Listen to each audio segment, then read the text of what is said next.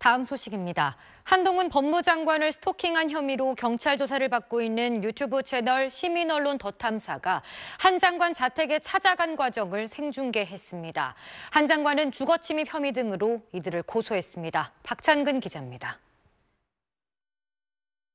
서울 강남구의 한 아파트 현관 앞에 성인 4명이 서 있습니다. 초인종을 누르고 현관 앞에 배달된 택배 상자를 들춰보는 이들. 유튜브 채널 시민언론 더 탐사 제작진입니다. 아파트는 한동훈 법무장관의 자택으로 생중계 영상에선 호수까지 여과 없이 노출됐습니다.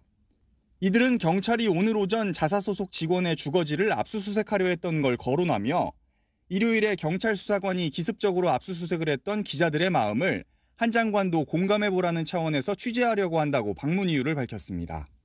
이들이 방문했을 때 한 장관은 자택에 없던 걸로 알려졌습니다. 한 장관은 이들을 보복범죄와 공동 주거침입 혐의로 경찰에 고소했습니다.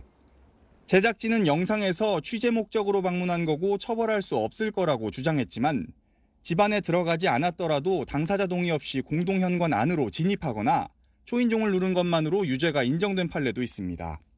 앞서 이 매체는 첼리스트 A씨와 그 남자친구의 통화 녹취를 근거로 청담동에서 모인 김앤장 변호사들 술자리에 한 장관과 윤석열 대통령이 참석했다는 의혹을 제기하기도 했지만 핵심 발언을 한 A씨는 최근 경찰 조사에서 거짓말을 한 거라고 진술한 걸로 알려졌습니다. SBS 박찬근입니다.